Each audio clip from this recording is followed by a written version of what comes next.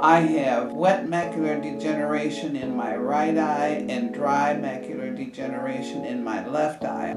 I use the Freedom Machine to read my newspaper in the morning. I read my mail, sort my medicine, manicure my nails. I do use the Freedom Machine to write.